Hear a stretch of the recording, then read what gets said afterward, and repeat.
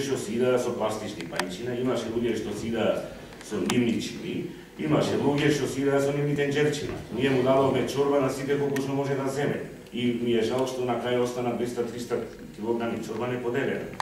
Со, во соработка со Црвениот крст однесовме рибена чорба во детските градинки, во здравствените установи и така натака. Значи таа чорба и годинава заеднички со Црвениот крст ќе биде поделена на сите оние места каде што луѓе што не можат да присуствуваат на, на градското пристаниште и на луѓе што на, на луѓе што ќе им се однеси на местата каде што живеат и каде што обстојуваат, значи стари лица, болни лица, детски градинки и така натака.